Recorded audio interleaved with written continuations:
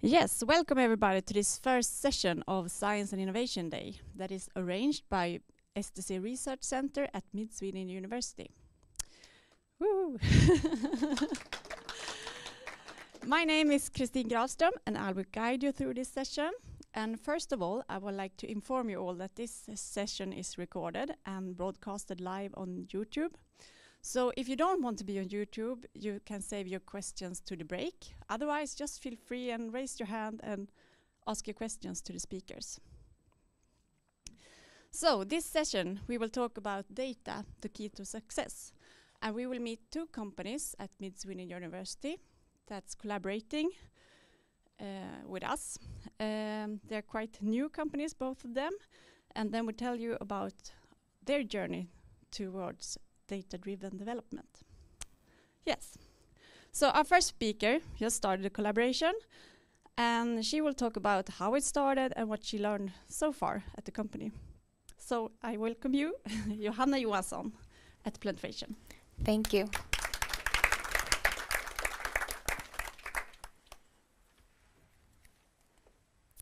Okay, so my name is Johanna Johansson and I'm the CEO and commercial man manager at Plantvation. And uh, we are a company that develop cultivation technology for the forestry industry. Uh, we are still a startup company, but in growth scale, and we have a, fully scale uh, reference system um, at Holmen Skog, one of Sweden's forest companies. And we, during this year, we we delivered also a trial unit to one of the world's biggest forest companies in South America. Uh, we have about 30 years experience of cultivation technology within the company, uh, but are working, but have been working towards the forestry for the last uh, 10 years.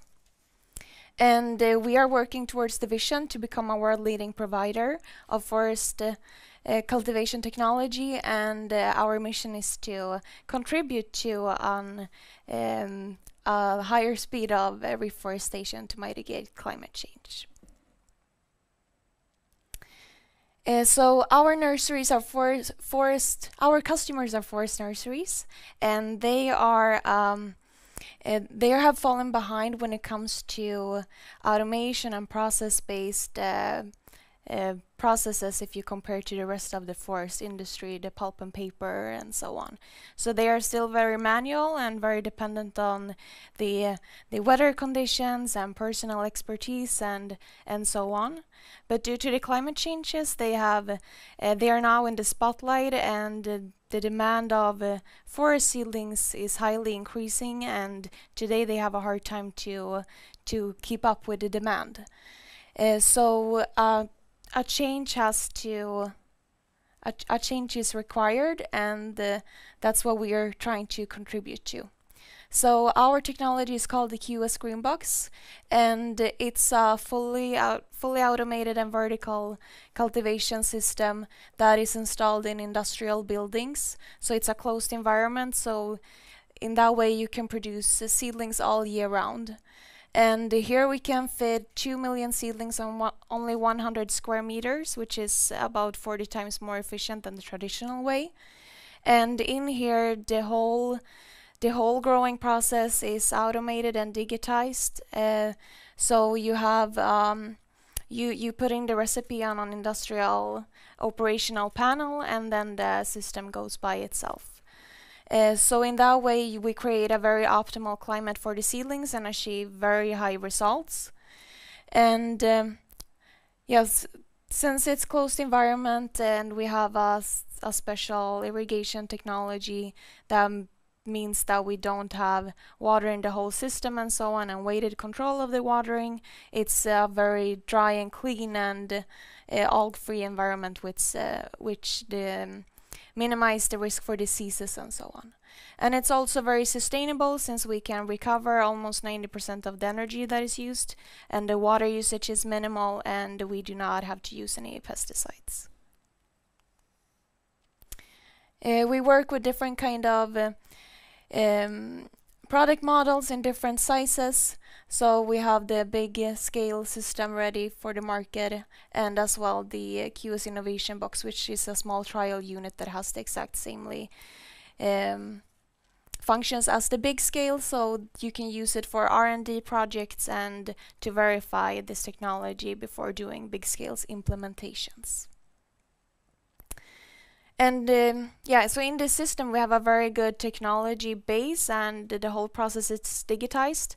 Uh, so we see a very good possibility to um, keep developing the the digitized uh, solution in this. So, so right now we have started a partnership with uh, Mittuniversitetet, our customer Holmen and um, Bron Innovation uh, to look into we are doing a prototype project to uh, developing the the AI and so on in this.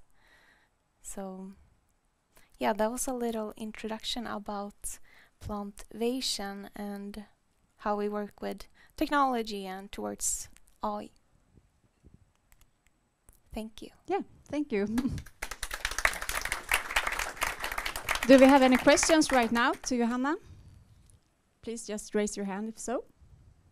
Otherwise, we will move forward to Mattias. He is a professor at Mid Sweden University and head of STC Research Center, and he will talk about technology. Yes. Uh, I will talk about technology and also the innovation process, which I think uh, is a good example of uh, how research and uh, company needs can meet. So can skip that. Uh, going through this innovation process, uh, going to proof of concept to see what are the potential in this technology for this specific problem. Uh, so, as uh, Johanna mentioned, there there is a digitized uh, process. Uh, there is automation at some extent to drive this uh, this system. But uh, there is an idea to do more with this, to automate even more, perhaps be less dependent on experts to do uh, when to do what. In this case, Bron, Innovation, has a project which is called Digital Innovation Hub, where uh, they met Plantvation and discussed uh, how their needs could be met with di different new technologies, which ended up in a pre-study uh, looking at different possibilities from their product, their needs, to see what kind of uh, technologies could benefit their business. So in that part, the the gray part, it was Bron Innovation and consultancy management consultant, Pro and Pro, that did this pre-study, which ended up in that in the growth uh, process, that characterizing that could benefit from AI technology. Uh, looking at the plants, be able to determine uh, in what stage are these plants uh, in growth-wise. Basically using camera technology, image analysis methods, where you, from the growth cycle, in this, we grow it, I think it was like two weeks old to eight weeks old uh, in this, and to be able to basically characterizing the growth cycle in parts of a day accuracy, which is a bit challenging. Uh, looking at what kind of different stages do we find in this data. It could, uh, we haven't specify the stages now. We have just uh, in a proof of concept basically divided time in four different steps and uh, show that we we can do this classification. uh, which is a bit de demanding. Uh, it's not an ordinary classification problem. Uh, and why is that? It's that classes are very similar.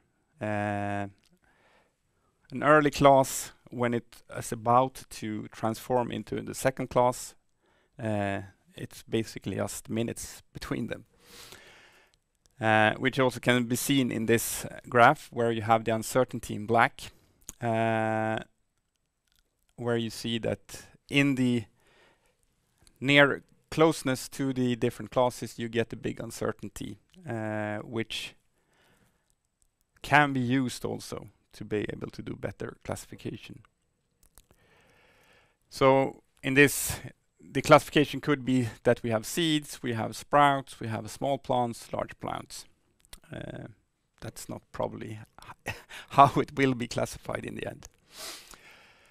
But looking at this, uh, we build a proof of concept that uh, shows that this can be achieved. We can get quite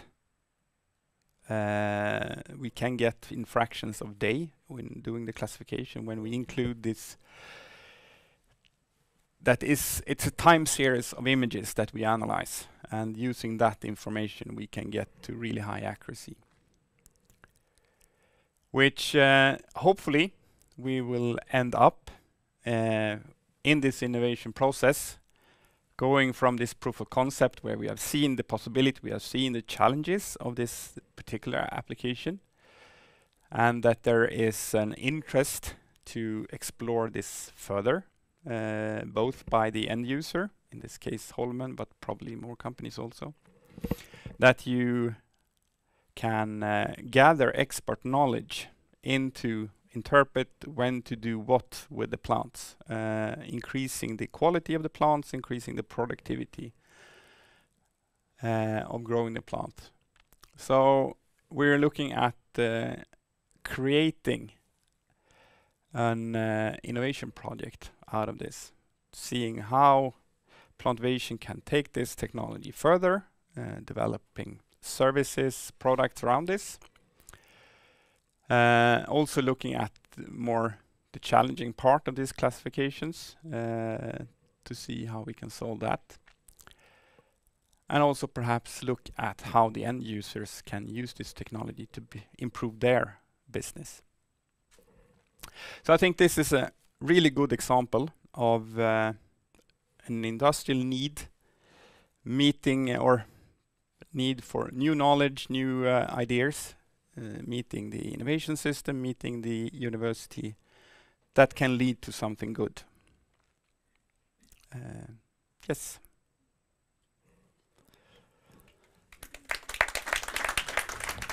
Okay. Do we have any questions from the audience? I'm a bit curious. Uh, why do Mid Sweden University want to cooperate with companies?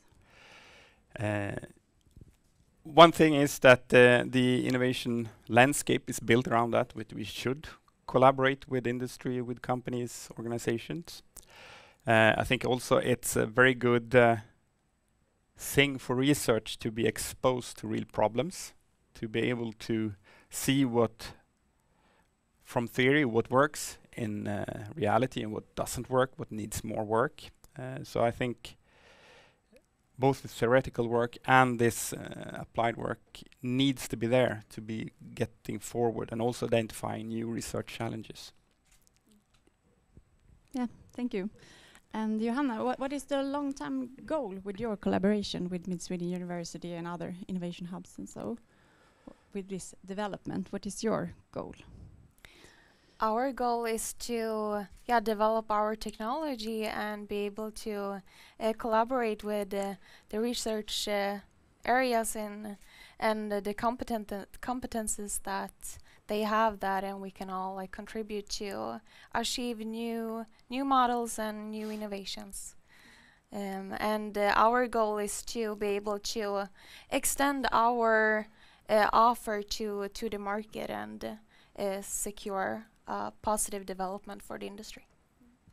Yeah. Do you have any advice for companies who are in the starting position they are interested in develop their products with AI or other technology? Do you have any advice how to start, how to get going?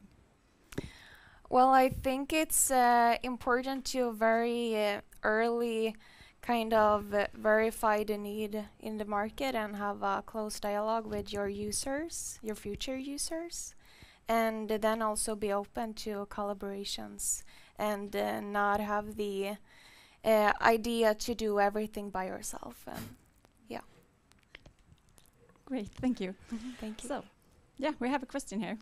I wonder if you if you also combine the data, yes, or is it pure uh, image uh, image uh, comparison of, of images, or y- do you combine the data with other type of sensors or examination of of of the plants? When you see a plant that is not good, do you uh, take it uh, down in pieces and check what it is? And also, last year there was something about also that uh, plants were uh, have uh, their their speech that they in Israel they have a thought that uh, the plants tell when they need water for instance do you combine this with other kind of sensors and also perhaps looking at the genetic code of the plants or something like that so that's or is it the future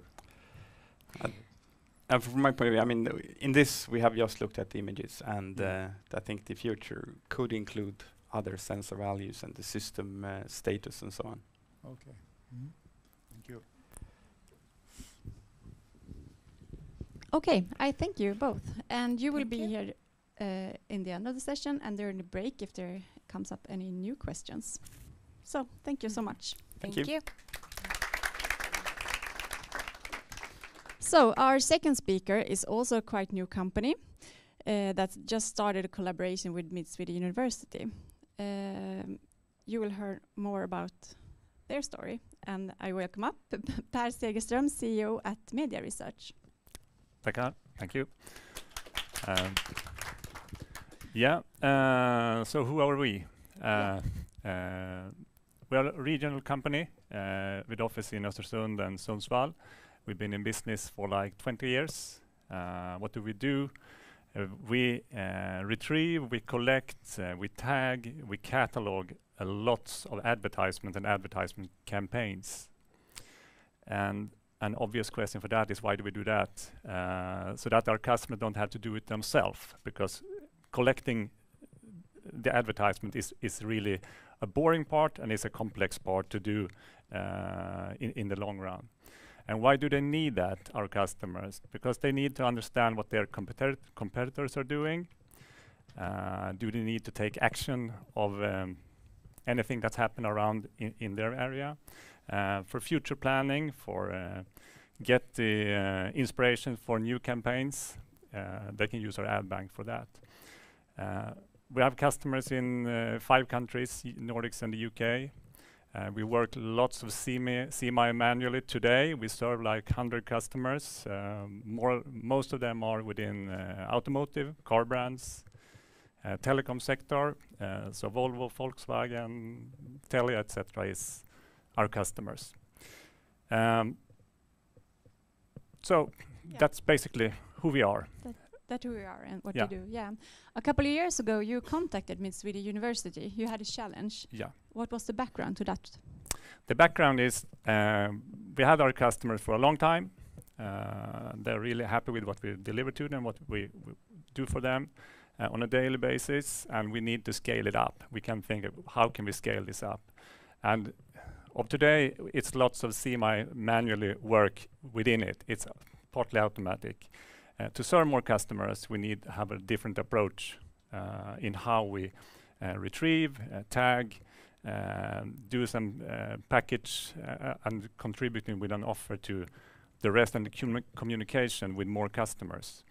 And with that, we started to to approach um, universities. How can we work with this? And then, as basically, it was a coincidence. I saw a, a press release, I think, from Mattias, that they were in some kind of work that that this could be us. I think and I just emailed, and then it started up with a short dialogue, and we identified what we need and what they can help with, and then we just set up a process to, in what form, uh, about recruiting.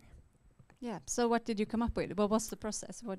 Uh, the process, uh, Mattias suggested different kind of what, what we could do together, uh, but the first thing was like, we could get a PhD for you uh, and get this to a bigger project um, and develop together. Uh, and that's what we ended up with. Yes. And how has been working out so far? Uh, very good. Uh, fantastic. Uh, the recruitment was oral. Where do we start? Where do we find a PhD? Uh, and I believe that that's what uh, the Mid University, Mittuniversitetet will help us with. Uh, but it was a recruiting process, and most of uh, all applicants were uh, foreigners. Um, so we just tried to find the right profile for us for this project, and we found Faeze. Yes, thank you. I think that is a good uh, transfer to Faeze Zakaryapour Sayyad. yeah. Uh, she got one uh, foot in the business world together with you, and one foot in the academia together with Mid Sweden University. So now she will present her work, what she is doing at the company and in research. So welcome up. Thank you. Thank you. Uh, yeah. So, y- yeah, thank you. Good day, everyone. My name is Faiza Zakariapur Sayga. Today, I'm here to present what I'm doing for Media Research Company together with Mid Sweden University. Um, I would like to start my presentation uh, with these reports from Stanford University about uh, about uh, actually the Deloitte survey. They pulled 2,000 and around 2,600 leaders around the world from different industries and with different uh, corporate levels, and they came into the conclusion that 94% of these leaders believe that AI is important for their overall success in their organizations. Also, uh, we can see that the majority of these leaders believe that AI can be uh, good to enhance the performance and job satisfaction. So we can see the state of AI uh, in enterprise is promising. Uh, but uh, yeah, also, also I would like to mention here that uh, uh, among uh, the countries that increase the number of AI job postings, Sweden is on top of the list, uh, and it's it's going to be even more increasing in the coming years. I mean, this graph is since 2014. Uh, but uh, but maybe when you want to start to use AI in your company, maybe you ask, uh, what are the challenges that I might face when I start using AI? Again, according to the report by Stanford University, top three challenges that uh, uh, these leaders faced uh, in uh, 2022 was first of all proving business value and then lack of executive commitment and also choosing the right AI technology. And I believe that researchers can help you to choose the right technology because we know AI is fast growing research field and every day we have uh, more efficient and uh, the better models and so uh, choosing the right model and uh, choosing the best technology can be done uh, can be done with the help of a researcher. Uh, but what does word AI mean, the artificial intelligence? Uh, according to the explanation from uh, Professor John McCarthy, who was the first AI faculty member at Stanford University, AI means the uh, science and uh, engineering of making intelligent machines. But this AI is uh, categorized into different fields. It's not just uh, one field. So depending on your task, what you're going to do, and what is your data, you might choose one direction here.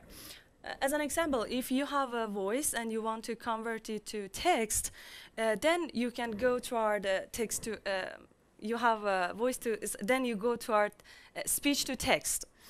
Um, now that uh, we know a bit about AI, I would like to uh, also show uh, what is the project that I'm pursuing in my PhD. Um, as the Pär mentioned, uh, we collect advertisement and we tag them. So we gain we uh, we need to know first of all what is an ad, and then we need to know what is the information inside that. Some uh, potential information like what is the company behind the ad this ad, what is this ad about, or uh, any other pot potential information that we might need to present for our customers. And uh, the benefit of this project uh, can it, it can have various benefits, like it can be used to uh, filter out unwanted ads, that is the opposite of what we are doing, uh, or target relevant advertisement to users. And uh, the other benefit is that if we are able to automate this process, uh, as Pär mentioned again, we can scale up what we are doing in media research. So uh, we can process more data. We have thousands of images per day that we have to process it fast. And uh, AI can help us to automate this process and do it faster. So we know computers are faster than humans always. I suppose. so, uh, so uh, the first thing that I have to do to uh, for this project is to identify the ad within the newspaper. Uh, so we just need the machine to draw something like this red line for us to say this is an ad and here it has happened. But uh, what are the challenges that we face? Uh, the advertisement can be so similar to non-advertisement within a page also, uh, these advertisements can appear like in different parts of the page. It can be in the left or right, or it can be small, uh, or it can be so big, even the whole page can be the advertisement. Uh, another thing is that the features that we have in this advertisement, they are complex and they're constantly changing. So you might need to, uh, sometimes you might need to develop over the time and uh, choose uh, up-to-date models to handle these uh, complex situations. but uh, so um, now, what is computer vision? Um, when we have uh, actually the research, uh, the computer, uh, computer vision research aims to drive meaningful information from visual data like the images or the videos. Here I have image, so I need to explore computer vision techniques to be able to handle this uh, pr uh, project. Uh, also, we need natural language processing what is natural language processing or NLP? Uh, this research aims to uh, build machines that can understand uh, human language. And as one of the obvious uh, examples that we all now are familiar with it and is so famous is ChatGPT. Uh, the researchers in NLP have provided this for us. Uh, but why NLP is useful in my case? Because the information within the advertisement, it is natural language. So if you want to process it, you need NLP techniques to be able to process this uh, text. But now that we're familiar that uh, what are the techniques, I mean, what are the research directions, uh, so you have a researcher to help you in this regard, and uh, what is the steps that this researcher is going to do for you in your company? First of all, as a researcher, we start to define scientific problem. So uh, you tell what you want, and we start to think about it and ask some research questions. And then uh, we provide a scientific problem definition. And uh, then we start to gather data and clean data. Yes, we have data within the company, but it's not always clean, and uh, we call it raw data. Uh, and uh, we need to know we need to use some parts of this data for the processes that we are going to do within the research. And uh, then, so for example, I'm developing different machine learning models uh, with uh, on this data set that we have, and we have gathered and cleaned. And yeah, the process is to, now we have to train these different models and we have to evaluate it with respect to different metrics that we have. And then we will have the predictions. Once we are satisfied with the results and we see that the, uh, uh, according to all the metrics uh, we are gaining good uh, accuracy, then we can put our model into production and we can use it for the commercial use in the industry. And uh, what I have done so far is that I have uh, implemented uh, the algorithm. Uh, so, I mean, uh, as I mentioned, some machine learning algorithms within AI that gets the image, newspaper image as an input. And uh, that red part is what uh, is the output of my model, which says 95% this is an advertisement. Um, so, um, so we know that AI is transforming the way we work, we live, and we educate, and uh, it is important to use it in our, uh, especially in our companies, and uh, it has different fields, and researchers can help you to choose the right direction in this AI uh, with respect to what you need in your company. Um, yeah, thank you for your attention. If there are any questions, I would be happy to answer. Thank you so much. Are there any questions from the audience?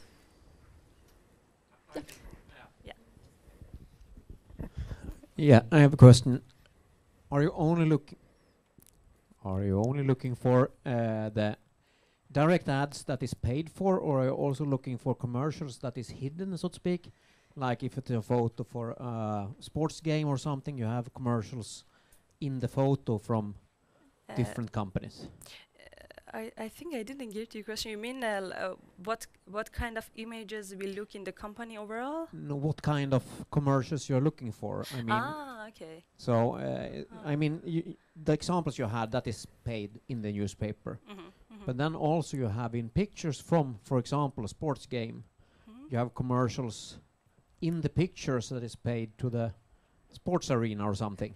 Are you also looking for those? Or Uh, these are uh, we are not looking Uh, for that, but these are some cases in the research that uh, we might uh, like consider it when we are uh, working with the data.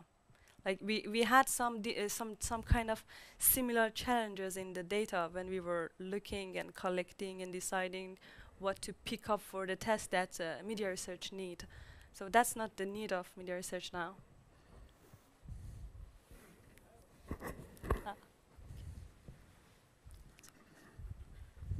Hello. Uh, Hello. How can you tell the diff? I mean, some some ads uh, basically look like an article. Or Mm. so how can you how can you tell that it uh, that it is an ad? Or can you do that? So I don't do it, the machine is doing it. And so, so the point is, uh, we don't know what's happening within the model exactly. That's the problem with deep learning. We have huge amount of data, and we can use this deep learning on this data to derive information. But uh, how the machine understand exactly, uh, or exactly what feature it's focusing on, uh, we don't know it. I, I don't know.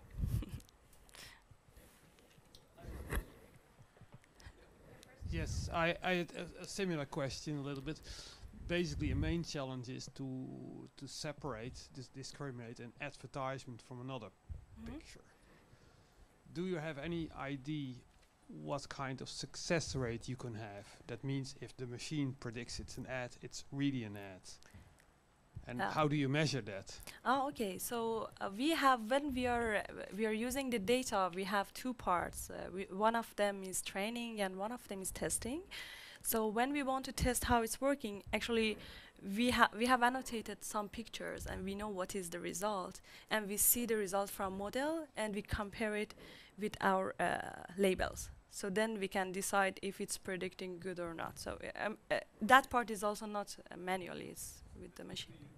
Do you expect uh, a success rate of, uh, let's say, 95% or just 80%? What's what do you want to achieve, basically? Uh, so we can look at the prediction. If you mean uh, what is the threshold for the confidence that we consider, uh, if that's your question, we can uh, decide about it. Like we can see, uh, like for example, we see uh, the over the 50% threshold, si- we can see that all of them are uh, true. The the answers are true. So we can have a threshold with the confidence. So we say of the the accuracy uh, it was more than uh, 90 yeah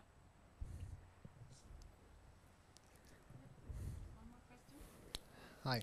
So hello I understand that you are mostly uh, working on recognition of uh, advertisements, right? somehow yeah Uh, but then I'm kind of following the, this kind of line of thought there. So some, especially like car companies, can have like it's per perhaps easier to find out like ads from Aldi. So you have like the tags, price tags, etc. But car companies can produce some kind of advertisements as like an art product or something.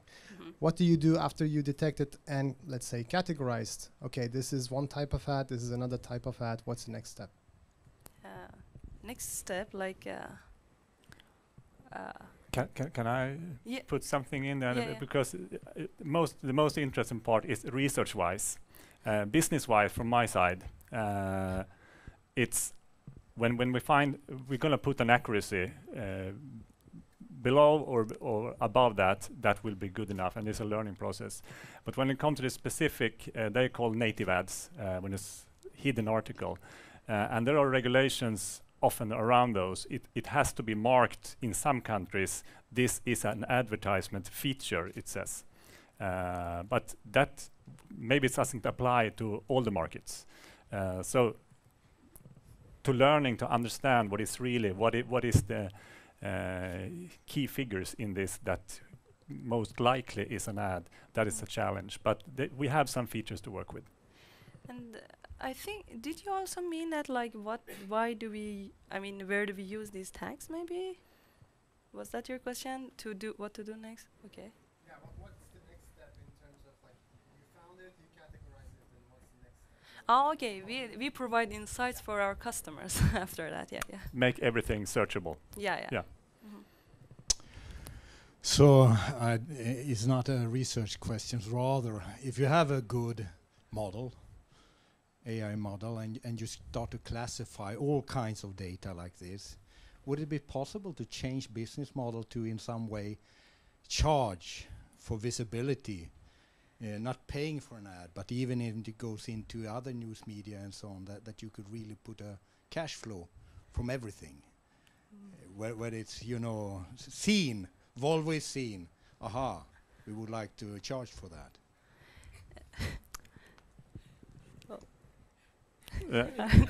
Every, ev- everything that, that we can identify as a value to our customers, and uh, of Yeah. course, if if we can provide them with that, uh, that is an interesting next step to everything. We're not there yet, but uh, I I really do hope that, and, and that was how we started this project. Um, what do we want to get out of it? We have these first steps. How can we identify, etc. But where does it takes us? What can technology do more, and what kind of business or revenue would that generate? We are open just to anything, and we are in discussions with the customers. Okay, are there any more questions? One more. Yes. Uh, your examples was uh, ba basically only uh, newspapers. Yeah. Do you scan also like Facebook, uh, Google? Yeah, Yes. in the company we do that. We uh, we explore uh, even TikTok. Yeah. Uh, Um, uh, this specific test is just to identify a channel newspaper. Uh, but we have uh, online ads, uh, YouTube, Facebook, social media, TikToks, display ads, uh, traditional TV, uh, newsletters, uh, other flyers. We monitor some certain website campaigns, sites. So our customers spend more and more money in more and more channels, channels, uh, channels. Uh, so they just keep on asking, is another channel, can you monitor that as well? Uh, and the challenge for us is that we can keep on serving our existing customer. We've been having like the same customers for 15 years, about a hundred, but we want to scale it up. And if it's possible to scale up, we need to approach uh, with a different method. And that's the part with the university and the research. We, Yeah. we need the automatic. yeah, more. once we found a solution, we can uh, put it like the input is image, so we can change to another input. Okay, uh, I've got uh, one question. Do you have some kind of, of uh, synthetic customer? Because you know what I see on my on my internet pa- web page is completely different that that you guys see, and this is uh, you know probably you know uh, you should emulate and see what what if it's target. Oh, I think it's a it's a proper word targeting. Do you emulate those or plan to do those? Everything is really tricky uh, because, as you said, uh, I see a difference uh, demography, um, and there and there is always regulations that trying to avoid. You can have ad blockers, you can have whatever it is. Um, uh, when it comes to online, we, we buy the raw data from a global supplier, and that gives us uh, doing this. And they have uh, crawling, and they have uh, big human panels, and they do robotics. So they have actual profiles, and they do robot robotics, uh, and they combine, uh, and we find most of it. Uh, but depending on if at this stage our target customer isn't the local or re regional uh, ICA store, maybe. It's not possible. But for Volvo, for uh, Telia, for nationwide campaigns, we find it. Yeah. Okay, thank you. Any more questions? so I have one question for you, Faeze.